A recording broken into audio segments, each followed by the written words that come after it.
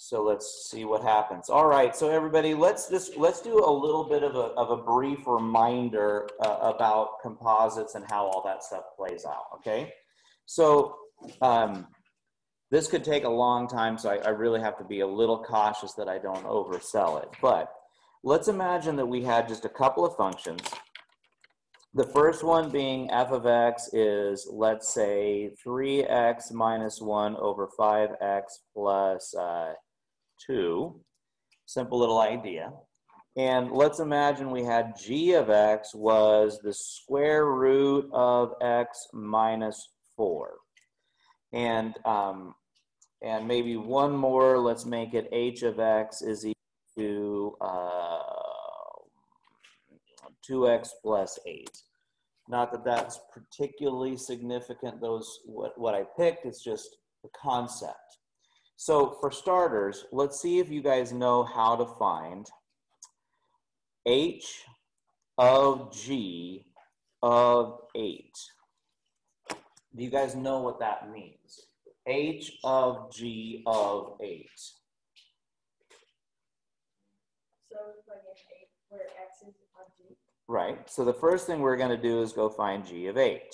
And that would be eight minus four, which is four. Square root of that is two. Now, again, I know in some classes they would say, I want you to show your work. To me, that is showing my work. I realized I wanted to go in there and do that. So I don't need you to write the root and all that kind of stuff. Think through it. Now, of course, if you made a careless mistake, bummer. That's not, you know, it's gonna be hard to see. And then what do I do with this answer right here? Yeah, I gotta plug that back into H itself, which was this guy right here, which is two times two plus eight, or in other words, 12. not that big of a deal, right? You guys cool with that? So when you have numbers, it's not that hard. Sometimes when you have letters, it gets a little bit harder. I'm gonna leave this one for a moment. I, I am gonna get to your question here, um, right in this spot right here. So now let's let's change the story a little bit more and say, how about if we did f of h of x? Now that's a little strange because what it's saying is let's take f of, but instead of plugging a number in, it's saying let's plug h in where that number was. So here's f. f was 3x minus 1 over 5x plus 2, right? But what am I going to put where those holes were? Where x used to be. I'm going to put all of h, which is this guy right here. And then we're going to do a little bit of quick simplification, which would give me six x's. There's 24 here minus 1. And I know some of you guys are going to probably go a little slower than I do on that, but I just got to go quick because I have a whole lesson to hit. And then I got 10x here. I got a 40 and a 2, so it's 42. You guys all right there? Now, the question that you asked was about domain. And so that's what I wanted to do. A couple, make sure we got this, and then we'll talk domain. Well- um, with that that's yeah i'm done. That's i can't do anything more with that. Now what a lot of people want to do is they want to start canceling things out. You got to be super duper careful and not everybody understands this but why in a problem does like two and negative two cancel each other out is because they're technically called inverses of each other. They're called additive inverses. What does two and negative two do to each other? They cancel because one is the complete complete opposite of the other and it makes zero right why does three times one third go away again? Those are multiplicative inverses. They're flipped over. When you multiply, you get one, right? So what happens in a problem like this, I frequently see people want to cancel the six and the 10 and make it a three fifths. But division is the opposite of multiplication. And right now, there's not a multiplication in this story. That's why when your teachers tell you to factor all the time, hey, factor that thing, let's factor that. When you factor, you're turning the story into a product, you're turning it into a multiplication story. And once you have that multiplication story, now you can divide and make things better. So I am done with this because if you look on top, I can't factor it. There's nothing that they have in common. I'm kind of stuck. So as far as the domain goes, x would not be negative 42 over 10. Or in other words, negative 21 over 5. Why not those, why not that? That would put zero on the bottom, which is never allowed. Now let's look at one more thing. I told you back during this lesson, and I know most of you were not even here at that time, not only do we look at the final answer, we're supposed to look at the inside function h. And we're supposed to consider, does h bring anything to the domain itself? So the two things we don't want to do is we don't want to divide by zero. Is there any division inside of h itself? No. So I don't worry about that. And then we also don't want to take any square roots of negatives. Is there a square root? Right here? Okay, so I, it's not that I'm ignoring it, I just considered it and there was no additional restrictions to the domain that I have to worry about, so I'm good to go. Okay, now let's go ahead and make this a little bit harder. So this is the one that I actually wanted to make sure that we could handle today. This one is a little harder. G of H. Now, again, here is G. And for those of you that are just kind of like watching and getting it, there, this is this has got some stuff to it.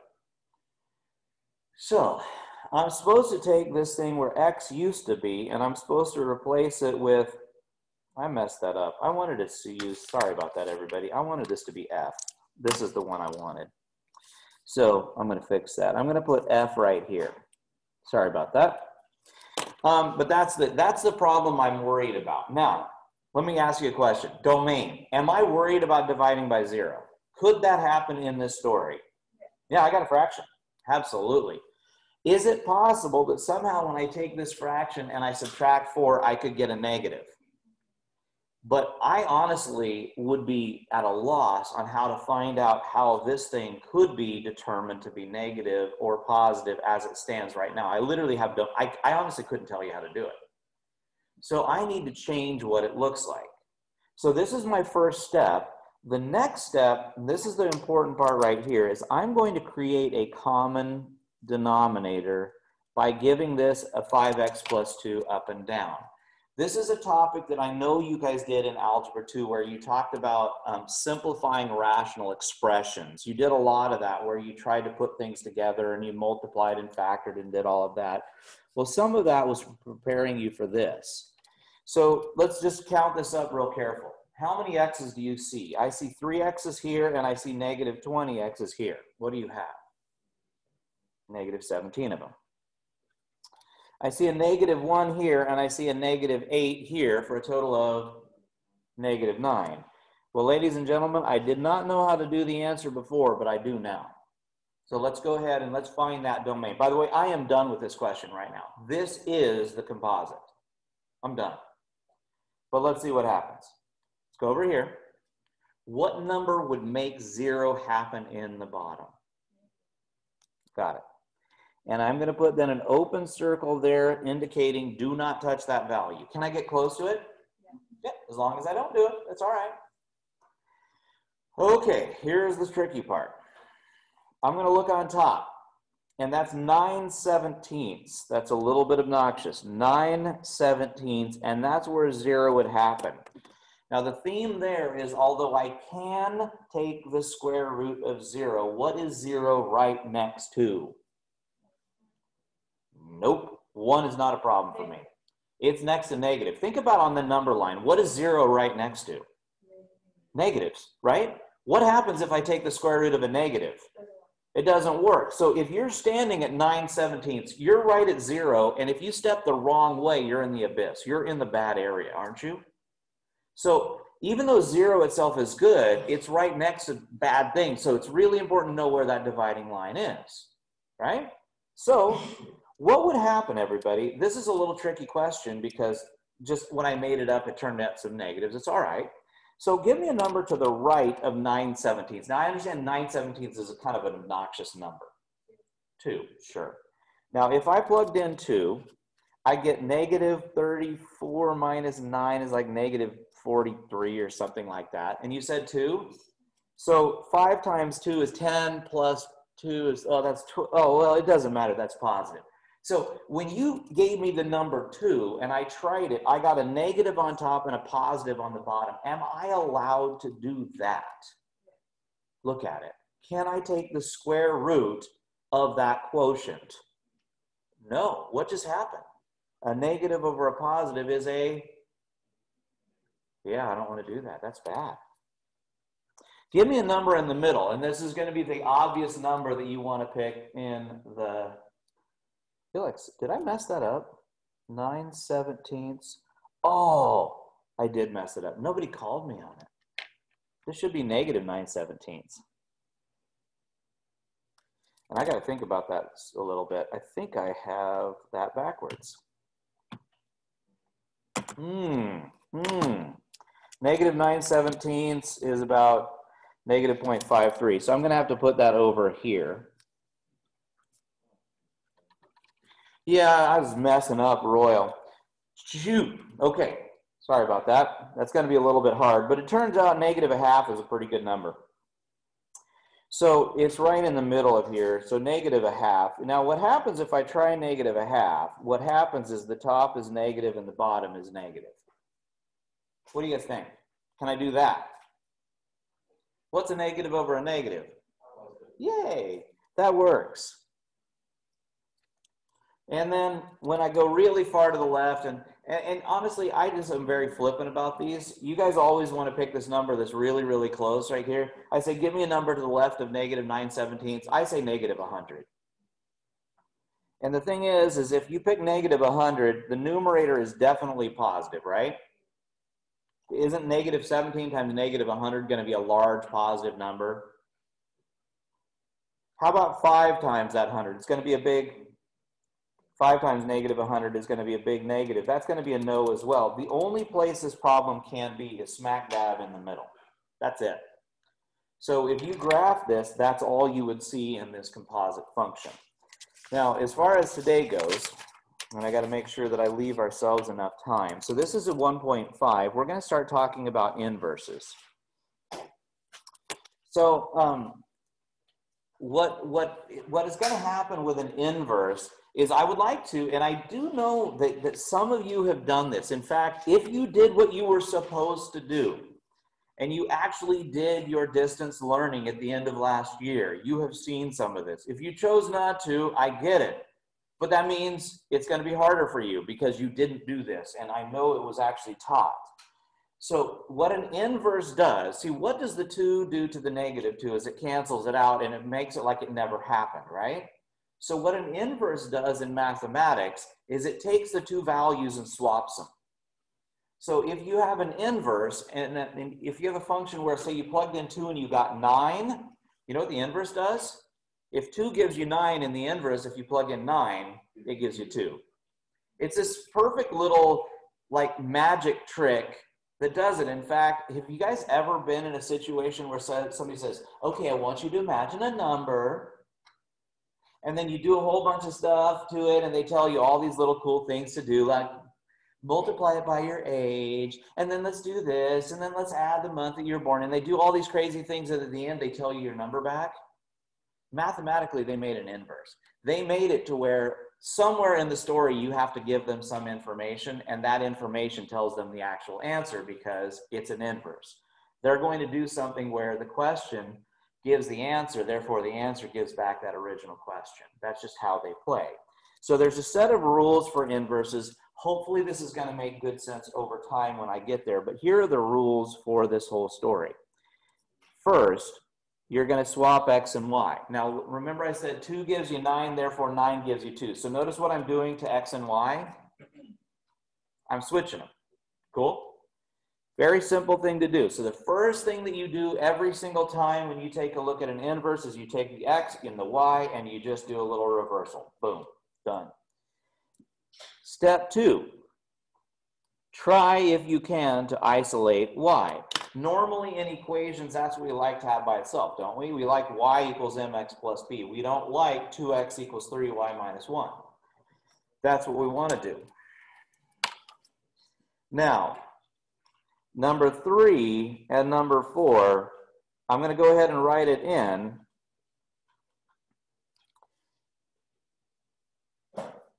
But we'll talk about these things in a second. And uh, hopefully this is all going to play out in our favor reasonably well. Yes, Sophie. Isolate y. Isolate y. So let's start off with the easiest thing that you guys know how to with, okay? The easiest function you guys know how to handle is lines, isn't it? Those are pretty dang easy.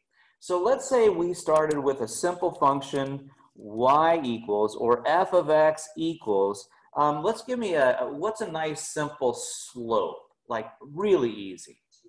2x, I love it. 2x minus 11. Simple, right? I don't think that's gonna blow anybody away. So right now, what is happening to x? Something is multiplying it by two and then subtracting 11. So what would be the inverses of multiplying by 2 and subtracting 11? These are the building blocks that I'm going to see in this inverse. I'm going to see an add by 11, not down by 2, 1 half. See, the inverse of multiplying it by 2 is going to be cutting it in half, or dividing it by 2, if you will, okay? So if I did it right, I should see some kind of an add 11 in there somewhere and some kind of a cut in half somewhere as well. So let's see what happens. So my first story was supposed to be swap x and y. Now that wasn't very hard. In fact, the first step nobody ever struggles with. Everyone's like, got that one. That was easy. Because remember, my son's like, oh, dad, why do they call it f of x? That scares me. Why don't we just call it y? It's okay. Who cares? Move on. Now what? How? Oh, wait a minute, wait a minute. Let's back up a little bit. Let's back up a little bit. Should I divide by two? No, let's add that 11 first.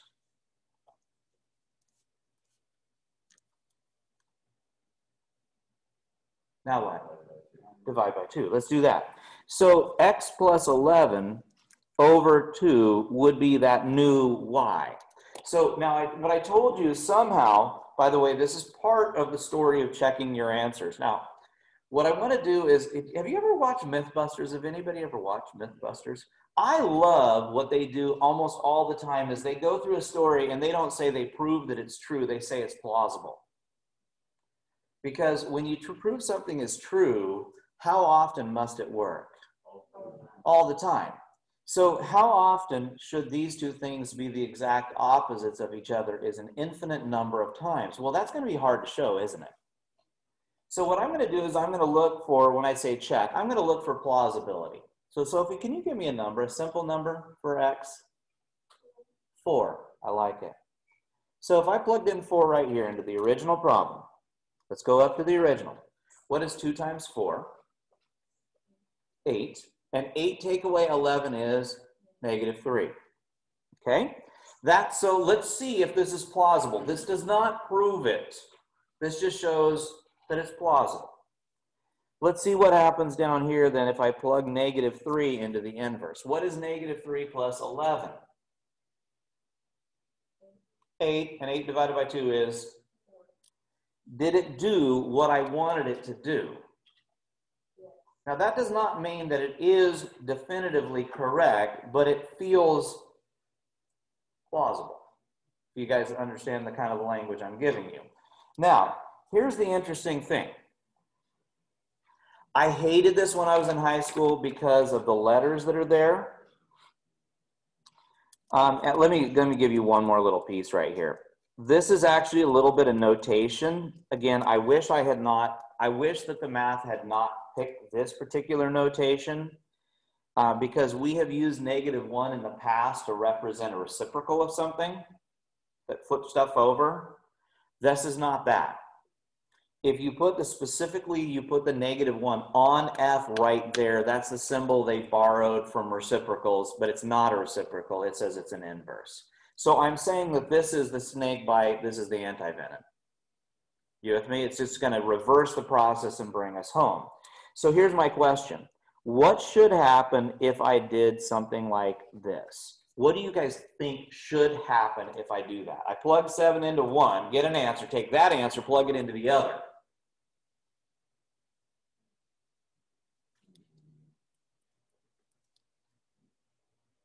What were they supposed to do? They were supposed to completely unravel each other, weren't they? What should f of f inverse of negative 16 give me? Negative 16. Now, by the way, should could you check that? Yeah, in fact, we kind of did. Look what happened. We plugged in four and it gave me negative three. I plugged in negative three and it gave me that four back. Did we just do that very problem right here? We actually did. It's kind of cool. So I hate that this is how math does it. I'm going to go all the way to the prove right here.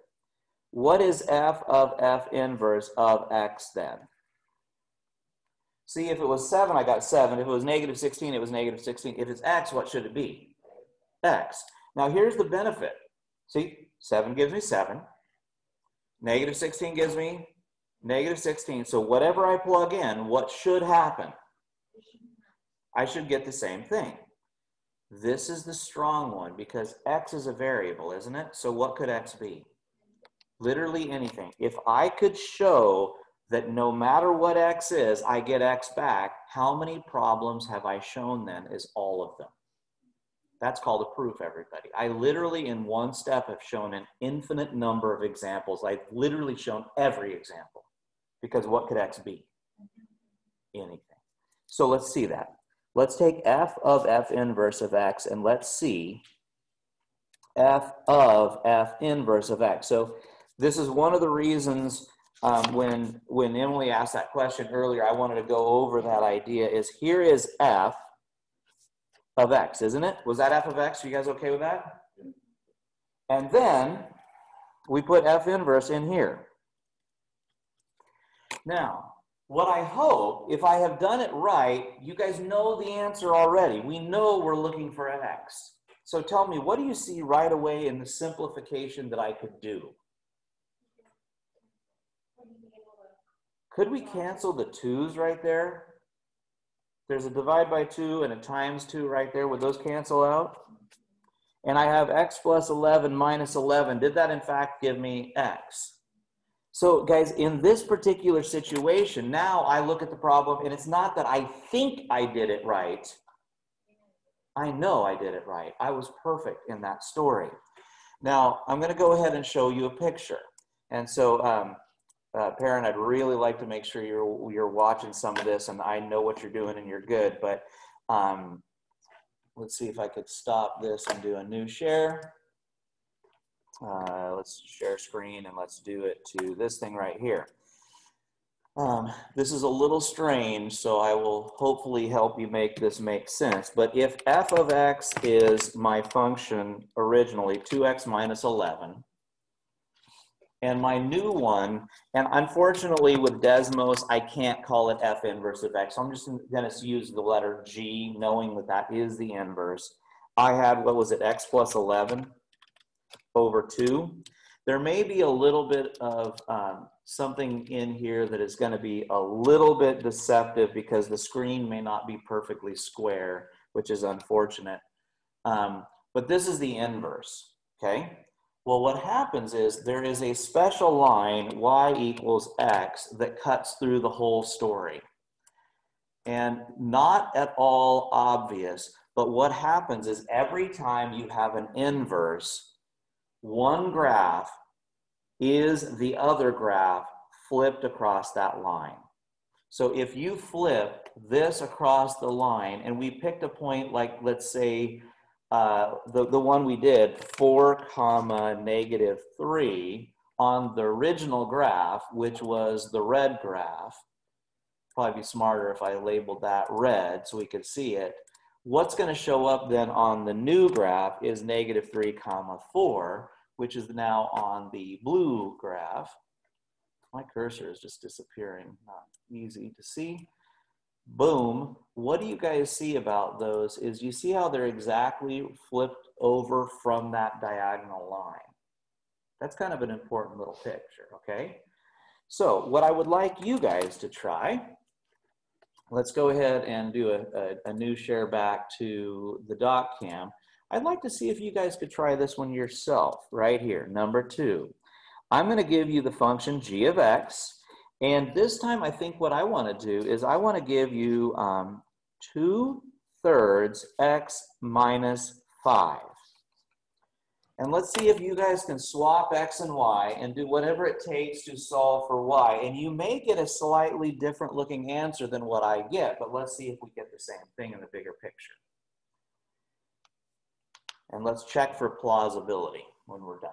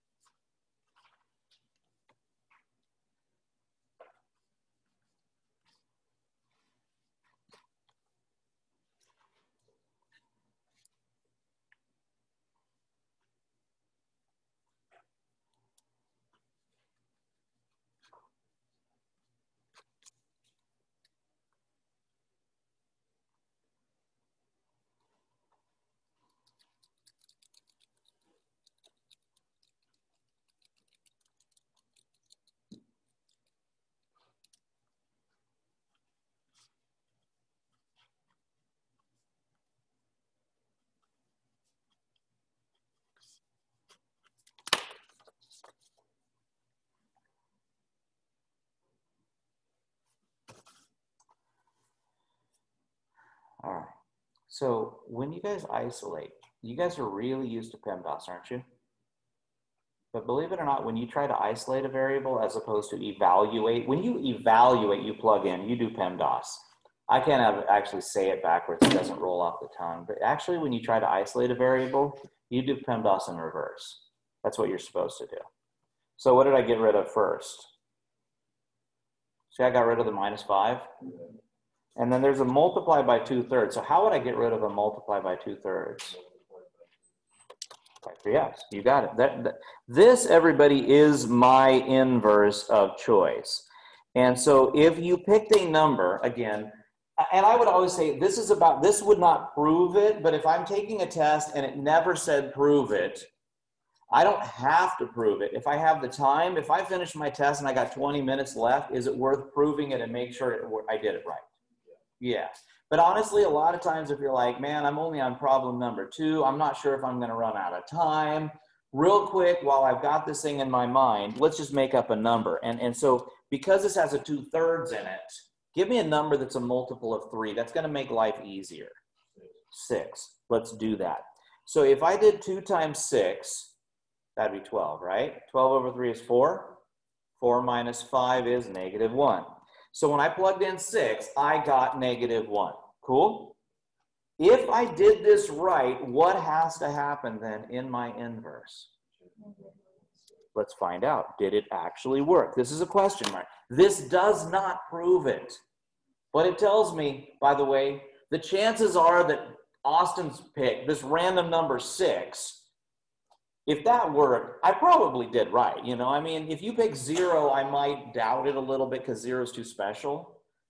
But, you know, whatever. What is negative one plus five?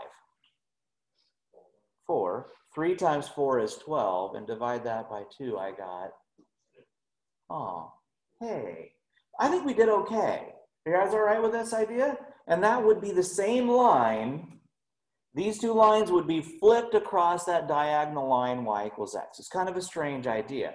But that brings me up to something that is what I needed to get to. Is that unfortunately, because of that flipping idea, here's where I've got to slow the train down. Let's say this is my story, x squared minus 4. Ooh. Now, I go in here and I swap X and Y, right? You guys okay so far?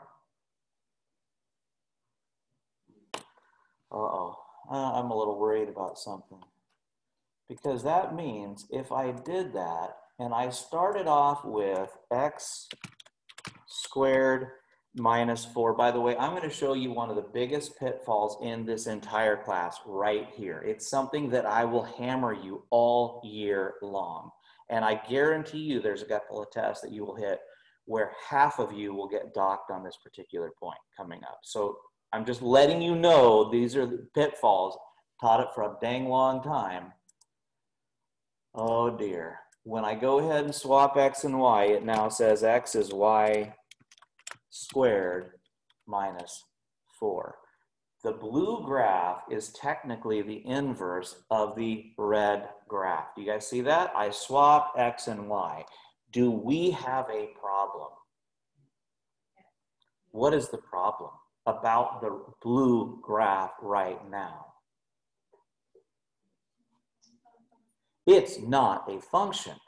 Shoot. But the rule says I have to flip the red graph across that dotted line, which means this portion of the graph, when I flip it over, becomes the top half, and the bottom half became from the left side. That's really weird. If I flip both of them over, it necessarily will fail the vertical line test. Dang. Well, you know why? If I made on the first one, if I made a line y equals 10, on the inverse, y equals 10, which is a horizontal line, would become x equals 10, which is a vertical line. So this is the new little thing that we need to add to the mix, is the following. To be invertible,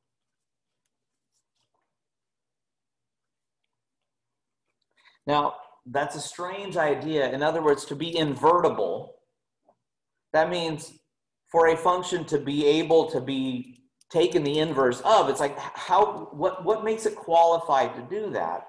A function must pass both must pass both the vertical line test now, you guys are familiar with the vertical line test, right? And the horizontal line test. Did this function that I gave you, x squared minus 4, a simple parabola, did it pass both tests? That's a problem. So here's what we do. What if I, I took this guy right here could I do anything to that original graph? Let's go back to it. Is there something I could do to that original red graph that would make it pass both tests? Well, if I go back to that original graph and I say, you know what? Okay, fine. I would like it to have this whole thing. But what if I said, I'm only going to allow to be x to be greater than or equal to zero? What if I only take that side? would that now be okay when I flip it over? See, now that it actually passes both the vertical and the horizontal line test, when I flip it over, it's going to pass both tests. So I'm going to finish this. Let's go back to here so you can see this. So we're going to have to change the domain a little bit. That's important. You have to know that sometimes you have to say, ideally, I leave this thing be all reals, but it's got a problem. So I'm going to change it and say oh, let's make the domain a little bit more strict so it'll fit. Let's add four to both sides. What would you guys do last? What's the last thing to get y all by itself? How do I get rid of that y squared? A square root. So my h inverse of x is the square root of x plus 4 oh, now let's go back here and let's look at this thing again. And instead of writing it this way, let's try y equals the square root of x plus 4. Is it okay now? Ah, I fixed it. So, do you see the remnants of what we should see? The original problem had a square and a minus 4. What does this one have? It has a root and a plus four. Would those, should those unravel each other? They should. Could I check my answer by plugging in some number like 5 comma 21 and therefore get 21 comma 5? You guys with me on that?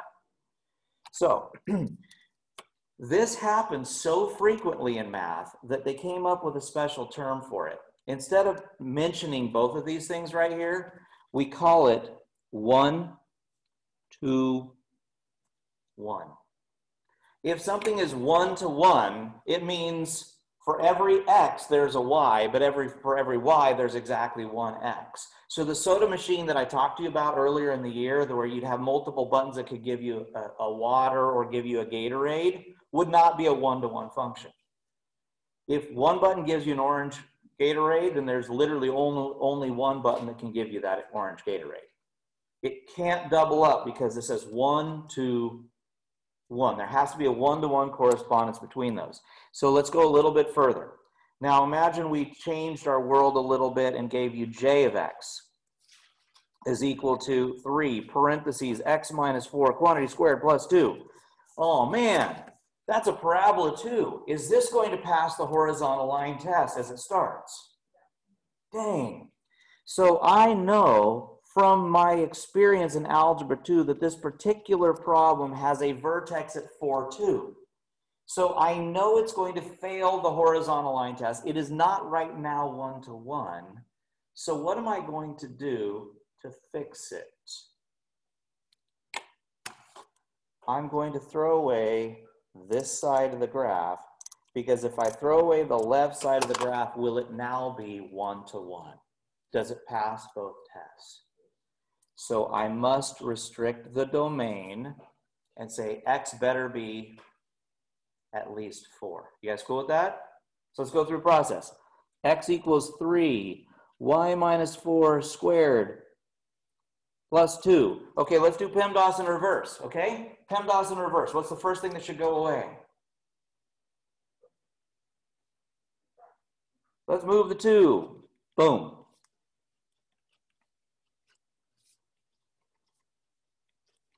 So can we get rid of the multiply and divide next? what would we do? Let's divide by 3. x minus 2 over 3. Okay, we did the adds and subtracts. We did the multiplies and divides. What should we do next? Let's get rid of that exponent. Let's take the square root of both sides. x minus 2 over 3 is y minus 4. What's the last little step that I need to do? Add 4 to both sides. And this is going to be called J inverse of X. Don't leave it as Y. Go ahead and call it J inverse because J was the name of the original. So this is my perfect thing. Okay, now here's a cool thing about this. In my original problem, let me show you something. The domain of that problem was X had to be at least four. The range was at least two. Look what happens to the domain and range down here. They did, didn't they? What happened is, do you see how x better be at least 2? Because if you went below 2, wouldn't that actually kill it, make it a negative root? And the smallest answer you can ever get out of a root is 0, plus 4 is 4. So if you have done it right, they should switch places. Yes? Uh-huh. Okay, now, let's go ahead and try to do one more little thing here on this. Let's prove it. And uh, I, I do know one of you enough to know that this may be an issue. When you say prove it, you have to be slow. Because what do we know should happen if I put these two things together? What should happen if I took j of j inverse of x? What did we already say it has to be? It has to be what number? Uh-uh. Going back, it better be X. If you put them all together, no matter what I plug in here, if it's a 5, a 2, or a negative 6, it better give me those same numbers back, right? Because you know the answer, does that make you sometimes want to short circuit the process because you know what you're looking for? So if I ask you to prove, please, for goodness sakes, do not short circuit the problem. So this is j of x, but notice I left a gap there. So I took the original function right up here and I put a gap where x used to be because what has to go in that hole? Oh boy, this thing right here. And I, I can't require you guys to use colors, but I would love it if you did to emphasize this is what x used to be, right? So, um, anybody see anything nice? Oh, the fours are gone. Let's do that. This is what I'm saying. I am not short circuiting the process at all. Now, do you notice anything else that is convenient? The square and the square root. What would happen about the square and the square root? Oh, those would be gone too. I'm going to kind of come up to here. So the square and the square root would be gone. What do you see now? The threes are gone. Can you see the answer now? X. Woo! I proved it. I know I nailed this problem and I did brilliant work. Okay, do you guys see how that plays out? Okay, on the test, please don't do this. So please, I'm going to show you something naughty. I'm thinking of you, parent. It's super tempting to do this because you know the answer already, don't you? So could you find yourself going, well, the four and the four cancel, the square root and the square cancel, the three and the three cancel, this two and that two cancel, so it's x. Yay. Would that be tempting? Did I do good math? Yeah, but I made it completely impossible for anybody else to understand my process. Do you follow that? If you went here, my process, sorry you missed it. What the, the black stuff that I showed all the way through here, is it clear what I did line by line by line and they actually worked?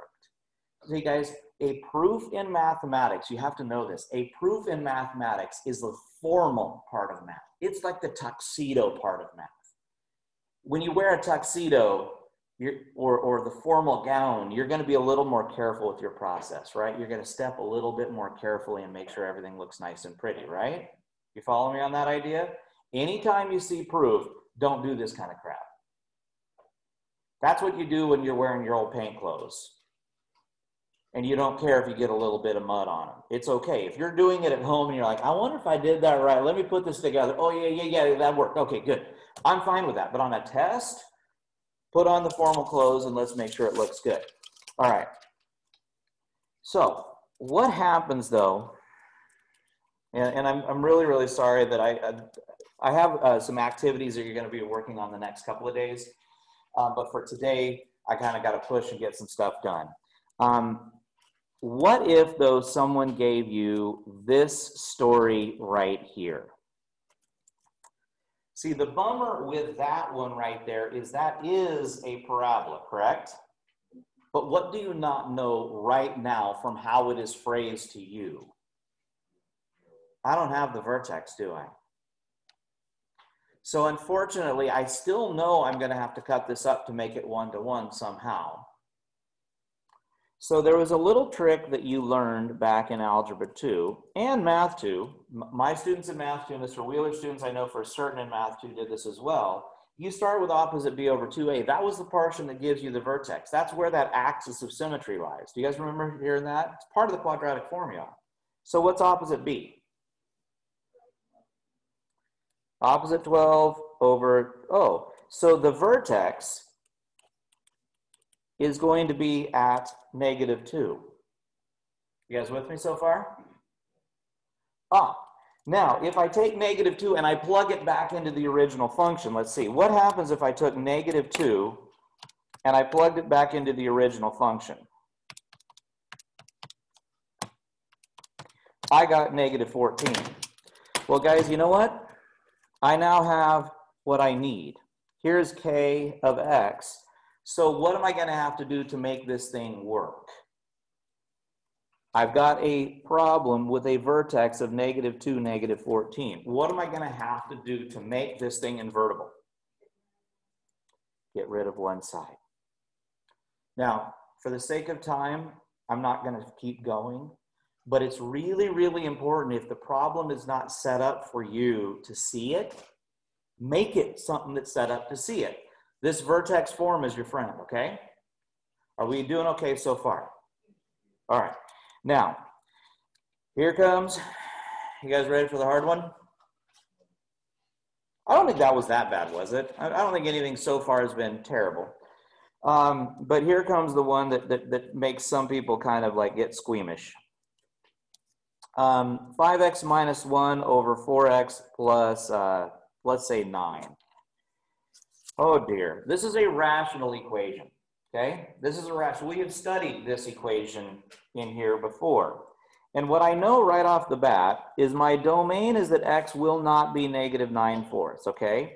Which means somewhere down here on the inverse, I know that my range is going to be that I can't have negative 9 fourths. Now, why do I know that? Well, yeah, well, yes, that's true. But why did I know this becomes this? Because what happens in an inverse is x and y do what?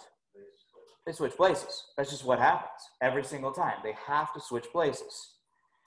Okay, so if I have enough time, I actually kind of messed up a little bit. I took a little too long on that front thing, so there's one piece that I'm not going to get to today. I'm, I'll pick it up tomorrow. It's fine. I want to do two of these. I want to do one of them with you and have you do one on your own because this is a hard thing for people to do. I have to get y by itself. That sucks. Look at that. I've got y on top and bottom, and you want me to get it all alone? So there's a simple trick, and you do it works the same way every single time. Can you guys picture this as like an x over 1? Let's cross multiply. Okay, step one, cross multiply. 4xy plus 9x is equal to 5y minus 1. Well, my problem's a little better, isn't it? It's a little better because at least I don't have a fraction. Now I got an xy. That's worse. Dang. So here's my next step. You tell me, what did I do on my next step? I put y's on one side and everybody that does not have a y on the other side. So number one, I cross multiplied, that made the fractions go away. Number two, I grouped my y's together. And you know why? Because now I could factor.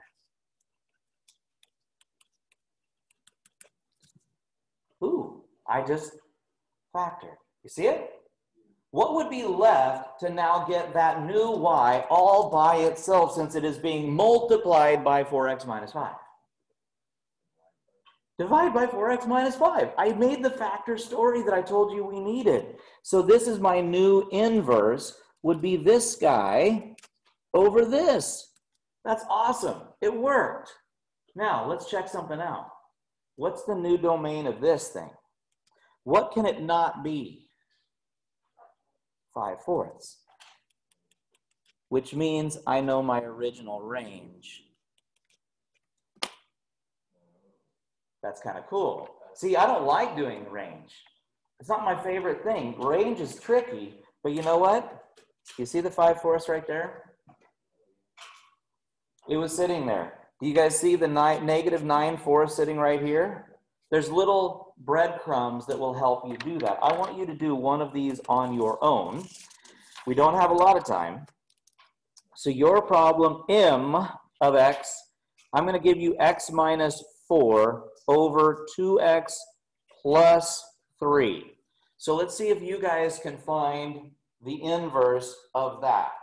And I'm not going to get as far as I wanted to get, but it'll be okay. I kind of knew I was going to leave a few things out today. I just left out a little more than I wanted.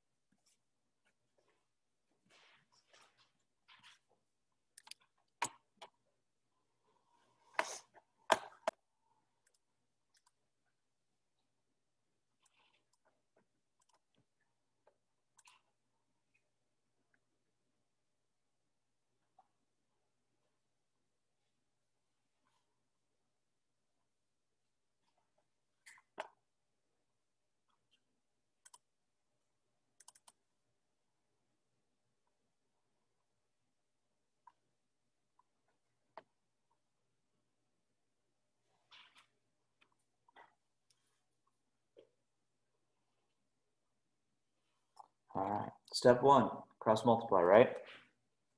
2xy plus 3x. What's the next step, everybody? Did I mess up? Oh, thank you. 3x, thank you. What do we do next? Move the y's together. 2xy minus y is negative 3x minus 4. Don't forget to banish all the non-y people. Make them go to the other side. I don't want them. What do we do next? Factor out the y. 2, 2x minus 1. And last but not least, what's the last thing to finish my story? Yay. So this is now my new inverse, which we would call m inverse of x. You guys all right? That should be the antidote, right? So if, if 2 gave me 7, then 7 should give me 2. It should flip-flop, if you will. Now, I've got to do one more thing for you guys in the last literal 30 seconds. Boy, this is going to be big. So I got to do a whole lecture in 30 seconds. Just kidding.